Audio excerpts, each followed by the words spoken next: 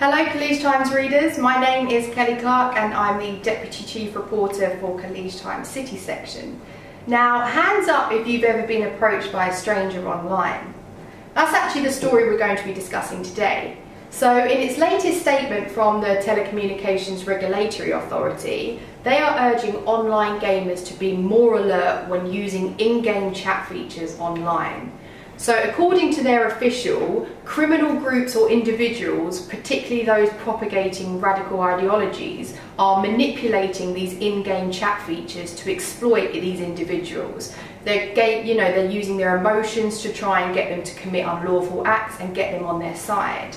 Now, when Khaleej Times spoke to four gamers here in the UAE, the consensus was they had not been approached by these criminal groups, which is great news. However, some did admit to being victims of ill intent online.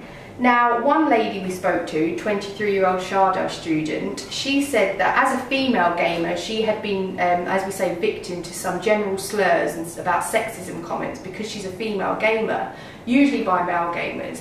That's the reason she no longer games online. But what the TRA is saying is just be more alert. If strangers try to come at you or try to add you as a friend request or generally start unusual conversations, just be alert to this. Now the recommendations which we've boxed here within the story are mainly for parents but they should also be taken heed of by any gamers. Now the first one we look at here is parents should put gaming tools in living rooms to ensure recruiters do not have the opportunity to be alone with children or young adults. Basically put it in a well populated area so that people aren't alone as they say with these children. One of the other important points is report any ill intent to the authorities here. So if you have any um, you know experience of this, speak to the police, they will contact the TRA and the situation will be dealt with.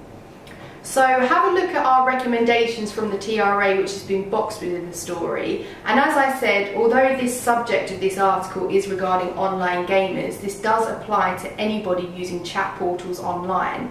We look forward to hearing your comments, let us know if you've been approached by anyone online and um, we look forward to hearing them. Thank you.